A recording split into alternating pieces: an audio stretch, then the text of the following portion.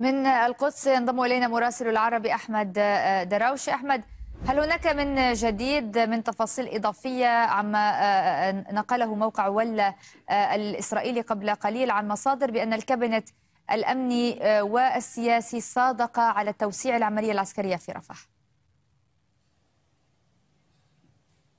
رويدا أبدأ بهذا الخبر. العاجل بلدية كريات موتسكن بالقرب من مدينة حيفا نعت أحد سكانها الجنود الذي قتل في قطاع غزة في ظروف عملياتية. كما تقول الجيش الإسرائيلي يتستر على مقتل جنو على مقتل أي جندي في قطاع غزة اليوم. هذا يشير إلى أن الأنباء التي كان يجري تداولها على مواقع التواصل الاجتماعي الإسرائيلية حول مقتل عدد من الجنود الإسرائيليين في معارك في منطقة رفح هي صحيحة صحيحة حتى الآن جرى الإعلان عن مقتل جندي واحد. هناك حديث في وسائل الإعلام الإسرائيلية إلى احتمال ارتفاع عدد الجنود القتلى بكثير خلال الفترة المقبلة. من يتحدث عن مقتل أربعة أو خمسة جنود إسرائيليين بالإضافة إلى إصابة عدد آخر. جيش الاحتلال الإسرائيلي كما العادة في مثل هذه الحالات يلتزم الصمت. لم يعلن حتى الآن عن مقتل أو عن, أو عن إصابة جنود بجراح خطيرة في منطقة رفح. لكن رويدا رويدا بدأت هذه الرقابة تتراجع وبدأت السلطات المحلية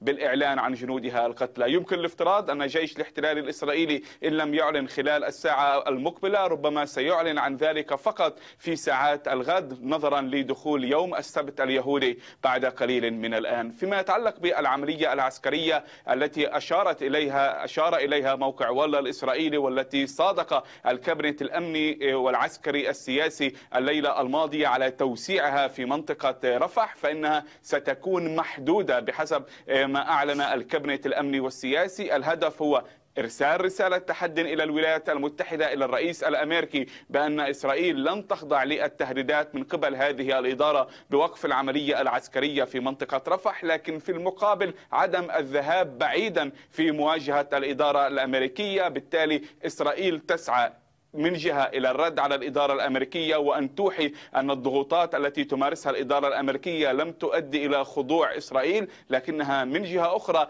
لا تسعى إلى إغضاب الإدارة الأمريكية أكثر. السؤال هل ستنطلي هذه الأمور على الإدارة الأمريكية؟ وكيف سيكون ردها خلال الساعات المقبلة على ما جاء في وسائل الإعلام الإسرائيلية؟ الساعة لا تزال مبكرة حتى الآن في الولايات المتحدة لكن نتوقع خلال الساعات القليلة المقبلة ردا أمريكيا على هذا هذا الأمر. شكرا جزيلا على هذه الإحاطة أحمد دراوشي مراسل العربي من القدس.